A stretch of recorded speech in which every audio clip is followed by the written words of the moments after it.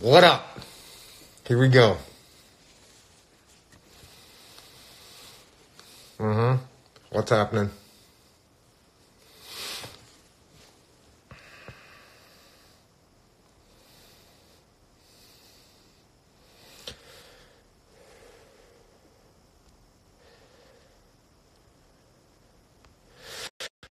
Just got off with Leif, Echelon Front partner, and then just talked to Pete. I said, let's just debrief what's going on. I just, I just threw this on. yeah, yeah. Um, man, what an amazing week. Yeah. That's uh, truly, you know, just so impressed with with what with what you pulled off up there at Origin and what the team has pulled off. Yeah, they amazing, amazing. If you know, I haven't I haven't been talking about this very much because I know that we wanted to get as many customers, especially you know the healthcare and and whatnot, taken care of first, and yeah. and I didn't want to put too much pressure on on you guys up there to get these things made, but now it seems like you found some stride. So uh, I'll, it's it's a story, man. It's a story. it's it's wild, and uh, you know what's funny is we were actually filming last night for the for the documentary, which we we we can't really talk about yet, but we're a year in, and holy shit, we we filmed in in downtown uh, Farmington, and it was just like bare and eerie, and all these old brick buildings from the 1800s. It was it was wild. That's actually what we were just working on, and we captured the team just as this thing ramped up, we shut the looms down and we yeah. retooled everything and moved machines around. So, yeah, if anybody so, yeah. if anybody missed the first part of this story, I'll recap it real quick. Yeah. Uh, right in right as the coronavirus started hitting, actually before it hit, I had a couple friends that said, "Hey, you should start making masks." And you know, you at Origin, and I said, "You know what?" And so I talked to Pete, and we discussed it very briefly. And you kind of came up with a basic plan, like what it would take. And then all of a sudden, the government started saying, "Hey, masks don't do anything." And right. I said, "Hey, I don't want to be part of something that doesn't work." Right. Right. Well, then fast forward like literally four or five days, and all of a sudden the government was saying, like during press conferences, we need masks, and if you don't have a mask, then make one. With a T-shirt or with a bandana. And I'm thinking, okay, well, yeah. so we got back on the phone, and you just started you know, you started hauling your brain around. You're sending me pic. You're sending me videos. You know, every day when I wake up at 4:30, since you're on the East Coast, I got three videos from Pete show, showing me different. I wake up. I wake up earlier than Jocko every day. yeah, you got that time zone. But yeah, uh, we got that. but then, but anyways, you came up with a great. You know, this is this is the mask, and and what makes it cool and unique is um, that it's got it's got like a pocket inside that you can put a a more a stronger filter.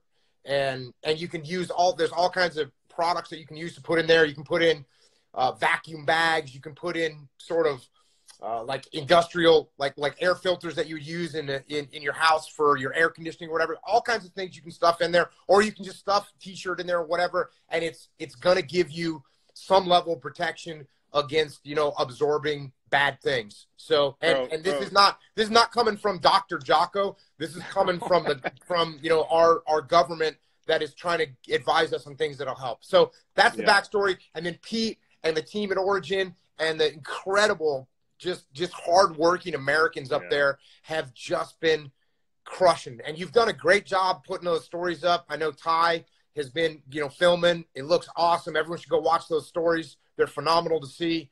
And uh, yeah, so check it out. That's so that's where we were on Monday. You started cranking, and, and tell us about tell us about the week, bro. Yeah, so I mean, it was we worked all weekend. We were going back and forth all weekend, and you know, just trying to come up with this design. Bro, you look like Rambo right now. You need a couple of knives or something.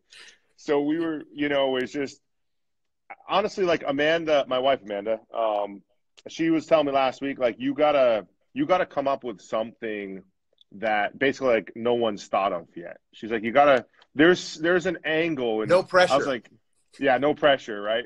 She, here, here's a, here's a woman, bro. I ever tell you I when I lost in this in the in the in the quarterfinals or yeah quarterfinals of the world championships, she wouldn't even talk to me. She's Respect. like you. You said you were going to win and you didn't. so that's that's the type of wife I have, right? Like, uh, so she's like, you need, you know, you guys got to figure something out that's that's different, that's needed, and so we did. You know, we we figured out this. What can we make that? Because not everybody has a sewing machine at home. Not everybody knows how to sew, and but everybody has a pair of scissors at home, right? And everybody has uh, some type of materials, whether it's a coffee filter or vacuum bags or t-shirts. Like everybody has that, and there's different levels of filtration. So we came up with this thing, the death mask, the defense mask for for for that. Bro, this thing went Richter this week. We're we're we we made twelve thousand. I mean, going from design to retooling Monday morning, like 40, 45 minutes, move machine around and start making. So, uh, or you try what? What's the order numbers look like right now? We're well over sixteen thousand. We're probably creeping on twenty thousand orders. That's cool Yep. because I've got probably another, I would say four to six thousand of people that have hit me up, and I know I sent you one individual today. That that there's going to be some, it's going to be some those those numbers are just going to continue to climb. Yep, and and just so people know, yes, we're also donating a lot of masks. So um, we're making a lot of masks. We're we've got we put out a request form and we received seven thousand requests for donations. So we mon- Monday we made set like Monday morning. The, the team didn't even know what was happening. I came in, I was like, here it is. I put it on the table. I said we need this and this. I said I don't know what we have in storage, but I know what we have on the floor. Uh, we need to shut down the gi line. The gi line just completely shut down making gis and, and gi pants. Joe and Bill, they went over, they went came to the storage facility. We we moved a bunch of machines around, retooled, built out the workflow. Everybody started sat down and started working. First day we did 780, second day we did 990, then it was like 3000, you know, 3100, 3200 and we just started cranking, bro. It's like it's ma- it's absolute madness. And but it's but it's awesome. I did I did have my daughter in there stitching. I got in I got in trouble today from the Department of Labor. I thought it. I thought. Yeah, Are you I thought it- serious? yeah, yeah, bro. I had a whole thing today with the Department of Labor, and but the you want to hear How did they cool? know? How did they know your daughter was in stitching? Well, we posted that video yesterday, which now is deleted.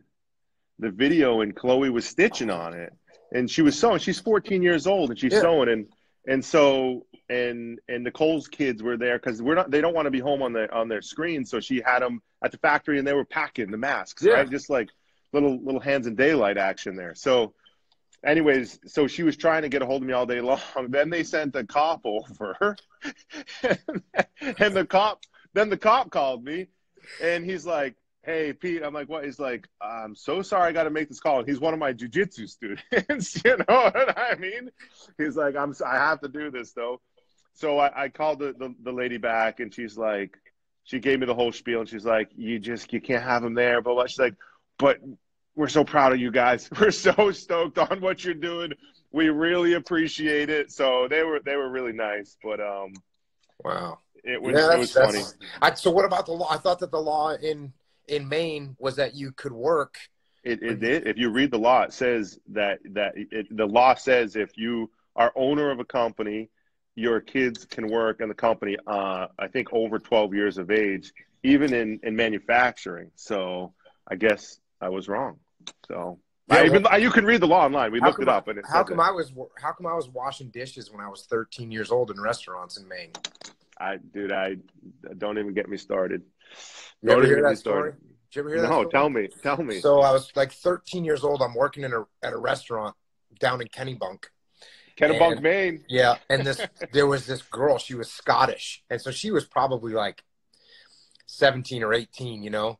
And she was she had a she had a Scottish accent, and you know it sounded really cool. Yeah. and she she was real pretty too and but you know she was like an 18 year old you know you know young woman And you were and i was 13. i was 13 but man you know i was looking at her like hey and so finally one day i said you know and i'm back there at the dishwasher you know like the lowest uh, the lowest the lowest ranking guy Yeah. and the youngest guy and this girl her name was rosalind Hmm. and um That's a cool name.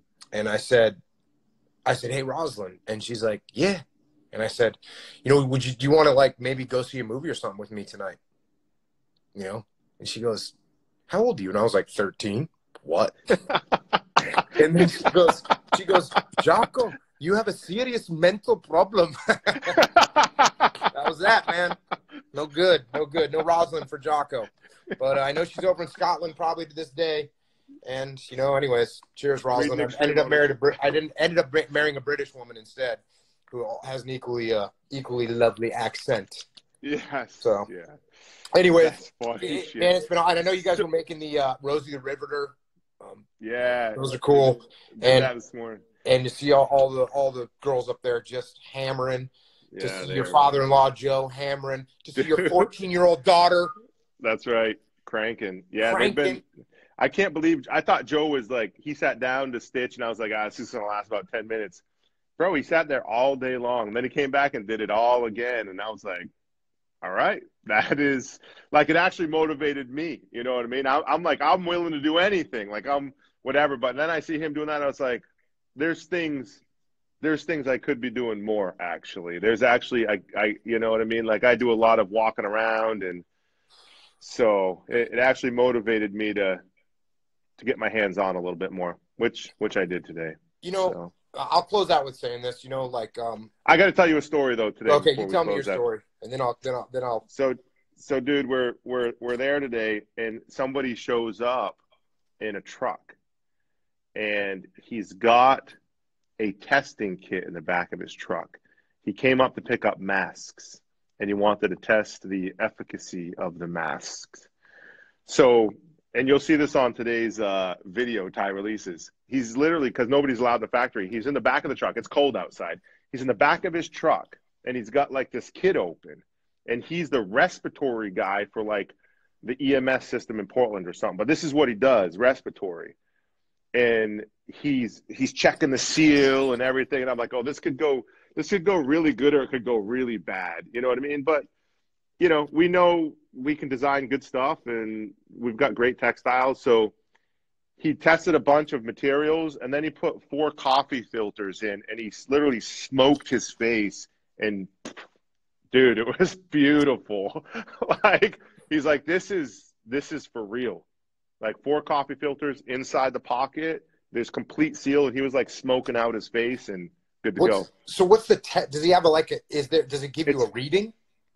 Um, no, so this is a this is a testing kit. It'll make you cough if anything escapes into your into your into your lungs. So you're you're breathing in through this thing. It's like a little uh looks like kind of a uh you know the little pumps uh, you go to the doctors and they pump your arm up with that thing. Yeah. It's like that with his tube and there's smoke and he pumps the smoke like this into his face and he's pumping pumping breathing in. I mean, you thought we were probably like doing drugs back there, there in the back of the truck. We're all huddled around the truck, and he's he's got the visor up, and we're like peeking in, but we're like six feet away. You know, social distancing. it was it was wild, man.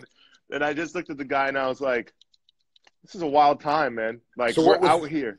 What did he say about it? Then what was his verdict? He said he was like, "This is awesome.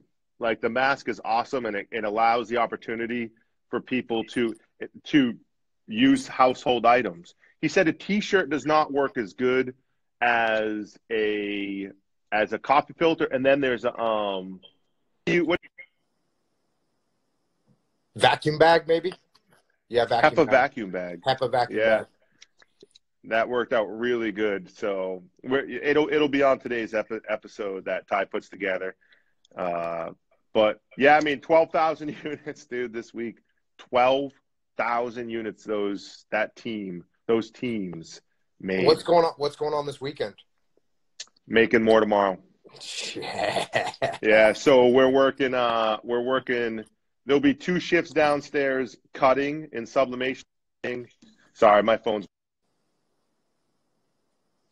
blown up. And then there will be two shifts on Sunday and cutting. Tomorrow there'll be one shift stitching. The the the, the all the ladies are so fast now and so efficient. The, the the the cutting department, the bunker just can't keep up. So yeah. we're gonna have Well- to scale that up. You know what I was going to say is, um, you know, you get, you know, I, I see I see this a lot from a leadership perspective, right? Like, some, you know, people people are doing fine in the world. People, you know, as a leader, you're doing. You, you, I'll be watching a leader, and you go, okay, they're they're doing well. You know, they got it. but occasionally when things go wrong, there's like an opportunity for someone to step up, for a team to step up, for a platoon to step up, for a company to step up. And for me, and I, I feel horrible that I'm not there, but for me, watching you, watching the Origin team get get get put under pressure and then rise to the occasion, to me, that that's America, and yeah, that's man. why you can never count America out. You can never count the American the American worker out. You can never count out American ingenuity, and you can never count out America because this is what we do. We rise yeah. to the occasion, and Origin has proven that right now, over and over again, every single day. They've proven it twelve thousand times so far this week, and they're going to prove it many more. Absolutely. So awesome to be yeah, a part of. Appreciate brother. that. Yeah, man, freaking awesome. Awesome week.